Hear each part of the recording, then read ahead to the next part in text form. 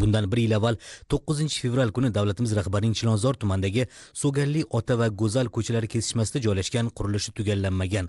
Qarovsiz holdagi masjid binosida turib bu yerni obod qilish va unga nafaqat yurtimiz balki islom dunyosida ma'lumu mashhur bo'lgan olim shayx muhammad sodiq muhammad yusuf nomini berish haqidagi ezgu tashabbuslari bugun amalda haqiqatga aylandi. Bir yil vaqt mobaynida ushbu ma'naviyat ma'rifat maskani ko'rkam qiyofaga kirdi.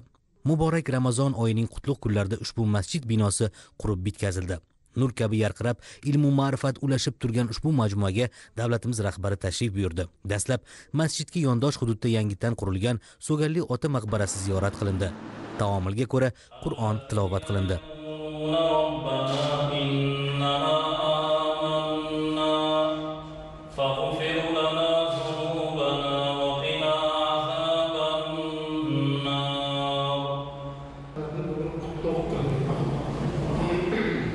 Inson e'tiqodini rostlamay turib shariat ahkomlariga to'g'ri va izchil amal qila olmaydi.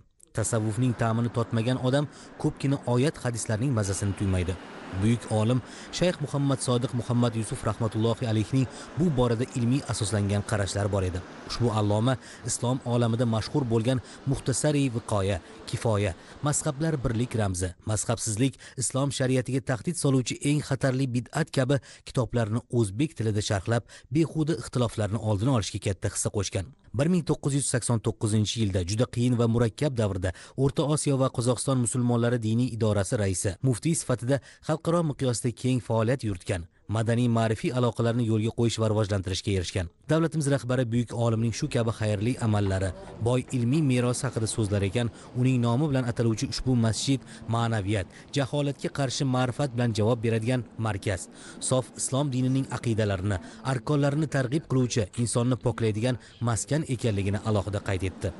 Nima uchun shayxni mana shunday hurmat ehtirom qilamiz? U xalqparvar odam.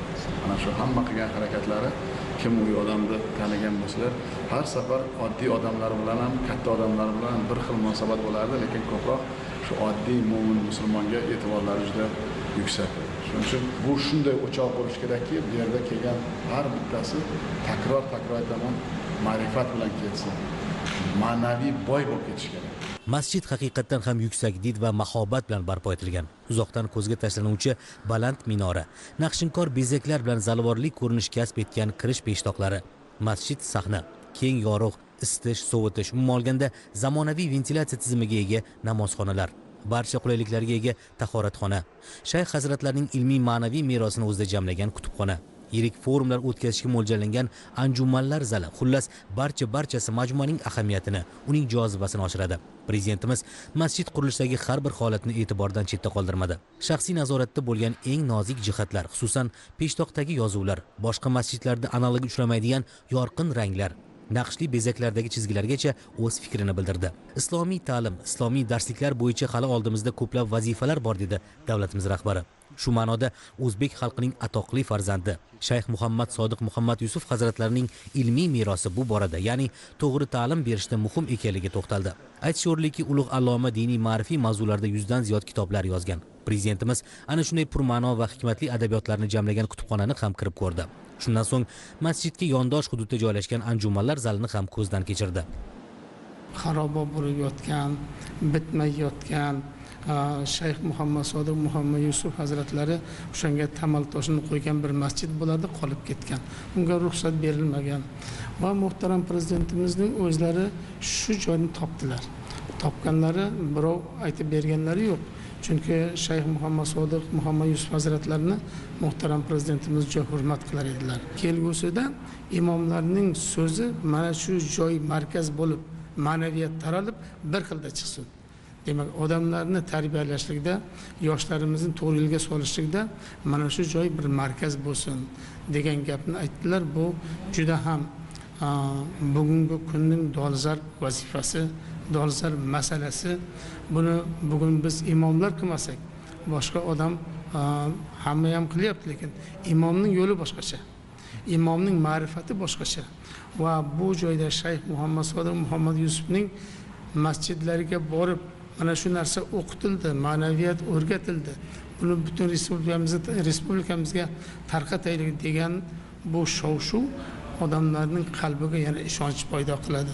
Ularning iymonini kuchaytiradi ixlosini oshiradi. Ushbu ilmiy markazda shayx hazratlarining dinimiz rivoji xalqimizning ma'rifati vatanimiz ravnaqi yo'lidagi fidokorona xizmatlarini aks ettirgan muzey ham tashkil etiladi. Davlatimiz rahbariga mazkur muassasaning loyihaviy ko'rinishi ham taqdim etildi.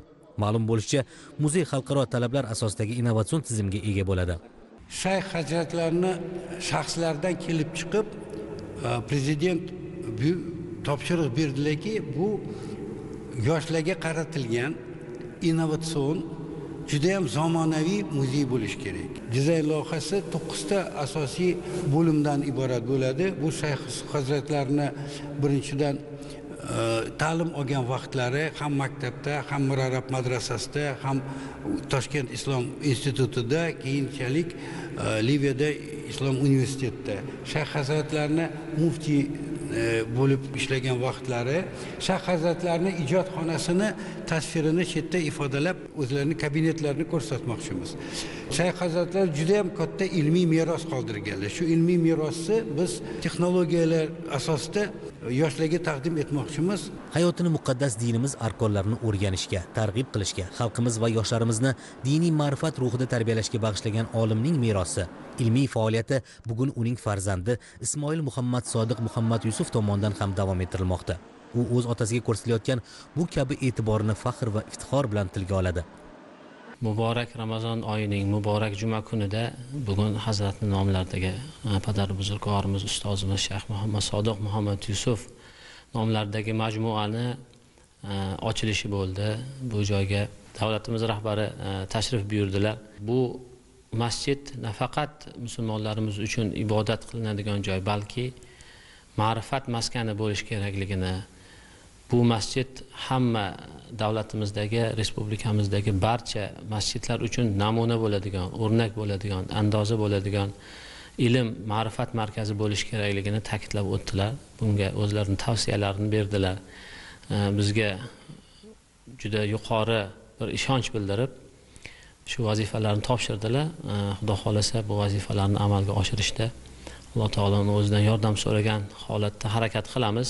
Bugun yurtimizda azon aytilmoqda. Masjid madrasalar qurilyapti qur'on o'qilmoqda.